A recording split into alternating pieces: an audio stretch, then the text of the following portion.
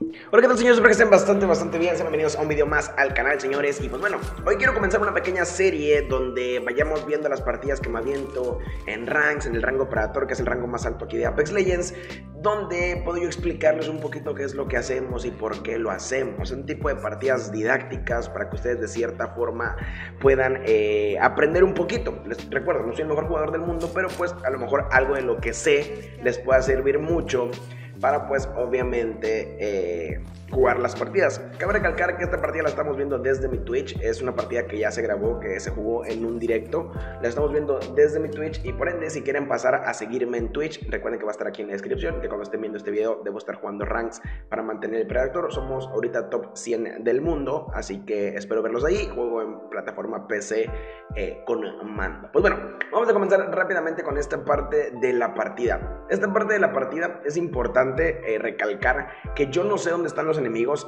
Logré alcanzar a ver uno aquí adentro pero yo no sé dónde están. Sé que hay uno adentro y los otros dos no sé dónde se encuentran. Mi objetivo como Great, que es una de las leyendas que puede salir más fácilmente de los problemas, es entrar para hacer un reconocimiento, escautear tantito y ver en qué parte se encuentran los enemigos. Un enemigo me sorprende por la espalda, de hecho, me sorprende por la espalda y yo en ese momento tengo que, pues, eh, meterme una Q, meterme facing, moverme a un lado donde no te, ¿cómo se llama?, dañado. Ahí mis amigos me tiran el call out de que eh, están eh, conteniéndolos. Ya tenemos la ubicación de los tres enemigos. Intento yo flanquear, pero obviamente los enemigos son buenos y van a obviamente cubrir lo que es eh, esta puerta con una termita. Ya no puedo entrar por aquí y aquí es donde se viene el push organizado.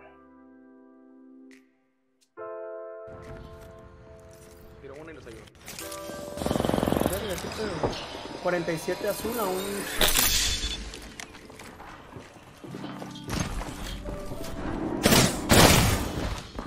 La parte de este enfrentamiento es muy importante, porque cuando yo recibí disparos, lo que cualquier persona hubiera hecho es a lo mejor meterse hacia las escaleras, pero iba yo a dejar a mis amigos sin posibilidad de ayudar. ¿Qué arriba, qué arriba?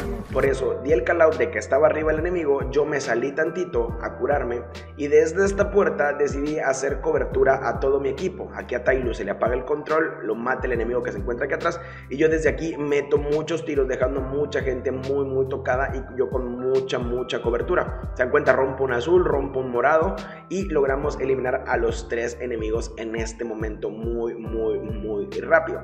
Aquí, en esta, en esta parte, les digo, los voy a dejar con el video para que vean. Viene bastante, amigo. 168 al Gibby. Ese daño al Gibby, ese daño al Gibby fue muy importante. ¿Por qué? Porque esto los va a frenar, los va a frenar para pushear. Ellos no saben que somos dos, pero están haciendo un third party. Obviamente saben que estamos dañados y que nos tenemos que curar. Por ende, estamos cubriendo la escalera derecha. Cuando yo veo que eh, escucha la escalera izquierda, tiro una granada hacia esa escalera, simplemente para cubrir. No busco hacer daño, busco que no se suban, que no nos ganen el high ground y aquí es donde tomamos la decisión mejor de retirarnos porque ya perdimos esa ventaja. Cuando mi amigo se subió rápido, yo me quedé un poco más de tiempo en el piso de abajo, porque yo sabía que podía detener a alguno de ellos, porque esa puerta era muy difícil pasar por ahí. Quien pasara por ahí, yo iba a tener el primer eh, disparo, o sea, los iba a ver primero, y obviamente les iba a hacer daño. Y haciéndole daño nos daba mucho más tiempo a mi compañero y a mí de poder movernos de la zona y poder eh, no enfrentar eso en donde estábamos en una completa desventaja, porque debíamos jugar en esta parte con mucha, mucha, mucha cabeza. Después de reanimar a Tylo nos encontramos a una Great, una Great que estaba escapando, una Great que estaba sola y decidimos seguirla los tres. Esto es lo importante, cuando encuentres a un enemigo solo, no lo persigas tú solo. Yo a mí ahí me, me, pasa, me falla mucho y, y, muchas veces lo persigo al enemigo yo solito. Eso está mal, trata de perseguirlo con tu equipo porque es, eh, si llegan a matarlo obviamente es punto para todos, pero si llega a venir otro equipo vas a tener y vas a poder defenderte. Esto es un error mío y si hubiera venido otro equipo a lo mejor hubiera acabado con nuestro equipo porque allí vamos a estar muy muy separados. Vamos a ver el minimapa. Ven el minimapa. Yo estoy aquí, mis dos amigos están atrás, yo iba a tener gente aquí arriba en el tren, estoy muertísimo. Yo escuché que la Great se subió al tren, dije voy a ir contra la Great. También, si voy contra la Great, que es una, y pierdo el duelo, también eh, mis amigos no van a poder rescatarme porque estoy en el tren. Sin embargo, me arriesgué para ir por ese punto. Eso estuvo muy mal de mi parte, pero pues obviamente ya con la, la euforia y la emoción se me fue la onda. Logramos obtener esta kill y pues no pasó nada malo. Está aquí, está aquí, está aquí. Está aquí, está aquí la temporada, güey.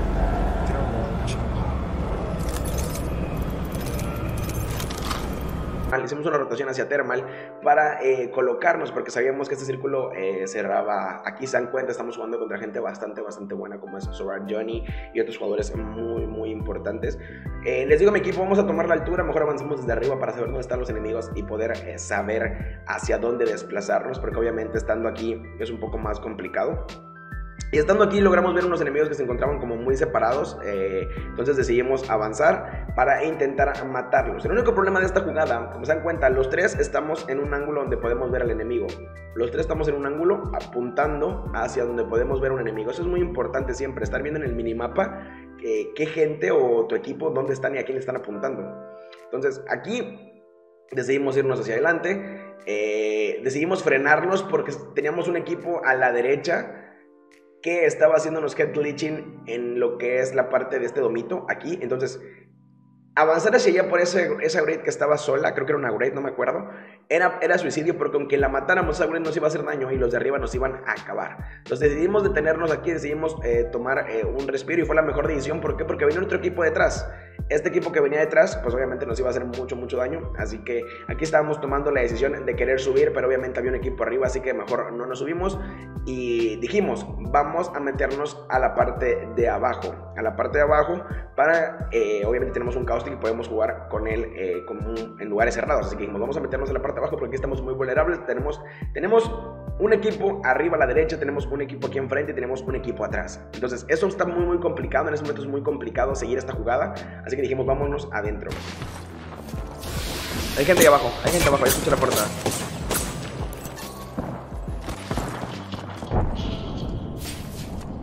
Hay un caustic aquí conmigo, güey. Güey, ¿cuántos tienes ahí? Se fue, se fue, se fue, se fue, se fue, se fue. Lo espanté a la verga, bros. Esta parte de la jugada es importante. ¿Por qué decidimos ir por los que están arriba? Vamos a ver cómo se lleva a cabo todo el push y explico por qué decidimos ir por la gente que estaba hasta arriba. 21, 21 solo otra vez.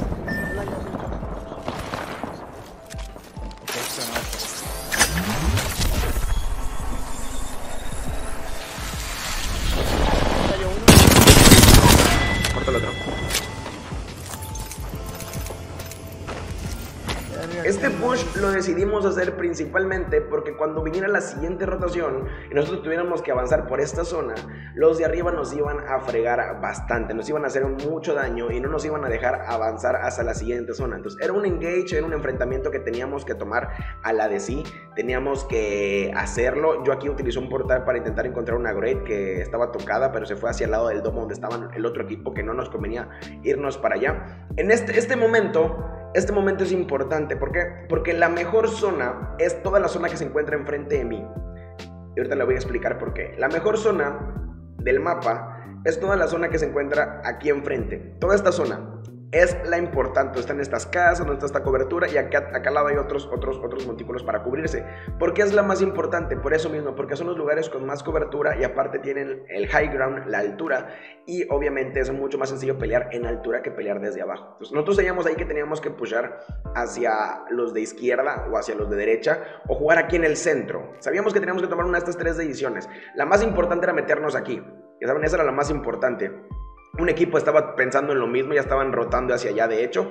Eh, otro equipo estaba pensando en lo mismo de este lado, ya estaba rotando hacia allá, de hecho. Entonces, estos equipos estaban pensando absolutamente lo mismo, porque obviamente todos son muy buenos, y estaban pensando en rotar hacia la parte más alta de lo que es esas casas, porque obviamente, como les repito, es, es la parte que te va a dar mucha más ventaja en el juego. Aquí nosotros estábamos tomando la decisión de a lo mejor quedarnos un poquito atrás, un poquito abajo, esperar un poco, eh, a ver cómo se desplazaba la rotación de los equipos, y esto es un, un consejo para todos, cuando ves que de plano la rotación eh, está como muy forzada y la gente no se está moviendo, puedes esperar un poquito y ya luego decides ir rotas. Aquí se me cayó la gomita de mi stick, pero luego ya estábamos eh, como que muy muy activos viendo hacia dónde nos íbamos a ir y pues dijimos, eh, hay que esperar. Estas, estas, estas, estas zonas donde esperamos principalmente es para encontrar una abertura. Por ejemplo, esa abertura la que se va a hacer ahí es que el equipo al que estoy viendo van a empezar a pelear ese equipo va a empezar a pelear y es donde nosotros decimos, tenemos que ir a matar a esos equipos para tener todo ese lado hacia nosotros. Ya teniendo todo este lado ganado, obviamente va a ser mucho más fácil eh, el engage. Así que los dejo con esta parte del push. Todo el rato. Ya estoy yendo, estoy yendo, estoy yendo. Te voy yo por abajo, güey. Pues vamos, vamos a hacer party, güey. ¿Nos escalaron de izquierda? Sí, sí, sí. Jálate, jálate, jálate, jálate de luz.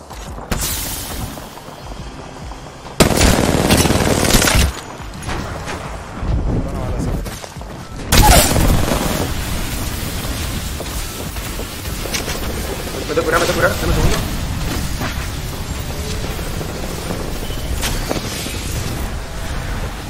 Le tiraron por... Le. Le tiraron.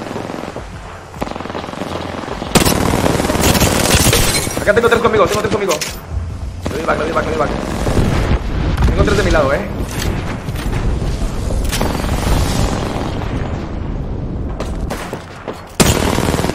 Uy, qué hueva, güey. Uno revive, uno revive.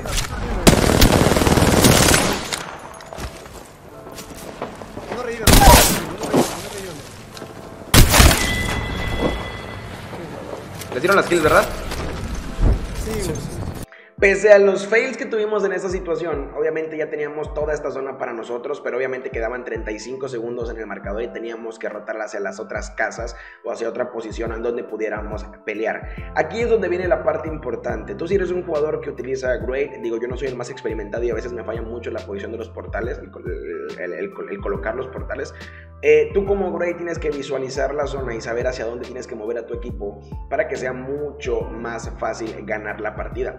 Yo mientras estaba luteando aquí, estaba viendo la zona de aquí adelante y dije, lo más, lo mejor que podemos hacer, lo que nos va a salir mejor es poner un portal o subirnos arriba de la casa. Venía un, jugador aquí por la izquierda, logramos hacerle algo de daño. Yo sabía que yo no podía perder tiempo haciendo eso. Tenía solamente 25 segundos para colocar ese portal y yo como Raid, pues obviamente decidí pushear hacia eh, esta zona para colocar el portal arriba y tener la mejor altura, la mejor posición. ¿Se dan cuenta? Podemos ver a todos los equipos. Aparte tenemos un Caustic, entonces el Caustic lo único que tiene que hacer es eh, tapar la puerta de aquí atrás, esta puerta de aquí atrás que estamos viendo ahorita, taparla y, no- y tenemos completamente la protección. Ellos están pushándose ya. Yo me quedo aquí porque si alguien nos llega a subir aquí perdemos completamente la posición. Yo me quedo para que mis amigos sigan de cierta forma protegidos porque obviamente aquí va a estar saliendo gente. Y eso es lo importante, tú como Grey tienes que estar eh, muy pendiente de todo este tipo de cosas. Les digo, aquí va a salir gente, estaba saliendo gente, era una Grey que disparaba bastante, bastante bien. Entonces me, me- quitaba 100 de vida muy rápido porque es mucho más fácil disparar. Bueno, para mí que soy de control, es más fácil disparar de abajo para arriba que de arriba para abajo. En esta zona, de manera, de forma vertical, el traqueo es muy diferente. Tenemos gente a la izquierda, pero yo seguía viendo nada más esta Great, no importa, aunque me hiciera daño, simplemente detenerla. Y esta parte es importante. Estas coberturas que tomo, tengo, eh, tengo que estar pendiente de la gente que hay aquí, de la gente que hay izquierda y la gente que tengo atrás. Tengo que estar pendiente de todo eso en el momento de estarme curando. La Great sube, logro meterme la batería, tenemos que bajar por ella, tenemos que eh, hacerle daño ahí porque obviamente Tylus eh, logró bajarla, tenemos que hacer daño porque esa nos podía fregar la partida porque no quería dejarnos en paz. Y esta es la parte importante donde el equipo se coordina de una forma increíble para sacar la partida. Así que los dejo con ellos.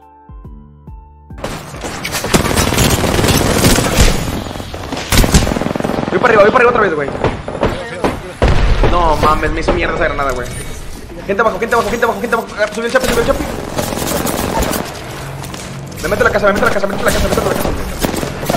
Esta jugada es importantísima. Tenemos un caustic, tenemos un caustic y dos escudos de reanima, dos escudos eh, eh, morados. Yo me quedo en la puerta tapando para que el Chapi no entre.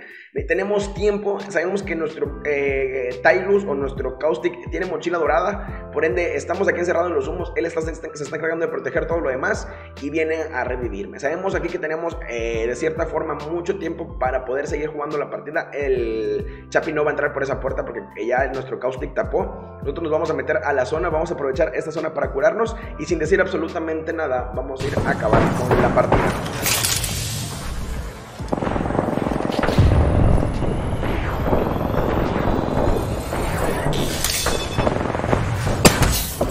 Verga, güey. Arriba de nosotros creo que hay gente, ¿eh?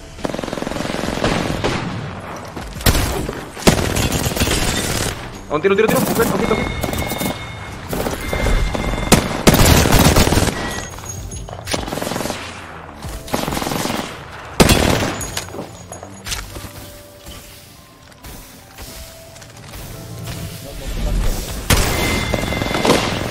Tírame, tírame, ¿tienes zip? ¿Tienes zip?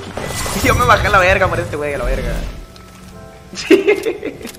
bueno, bien sacada, güey. Y así fue como se completó la partida. Una partida bastante tensa, bastante difícil por la colocación del anillo y por el número de equipos que quedaban en la zona. Pero a final de cuentas logramos sacarlas con un poquito de ingenio y trabajo en equipo. Espero que este video les guste. Si esta serie les gusta de partidas didácticas, recuerda que puedes verme hacer todo esto directamente en Twitch. Voy a estar por Twitch ahora en este preciso momento. Estoy haciendo stream ahí todos los días a partir de la 1 o 2 de la tarde. Así que te, hora, México Central. Así que te veo por allá. Y pues nada, señores, espero que les haya gustado muchísimo este video. Déjame aquí en los comentarios qué piensas de todo esto. Y déjame aquí abajo eh, qué crees que hubiéramos hecho mejor en algunas situaciones para no, eh, obviamente, ir mejorando, mejor dicho, cada partida. Pues nada, cuídense mucho, los amo a todos. Bye.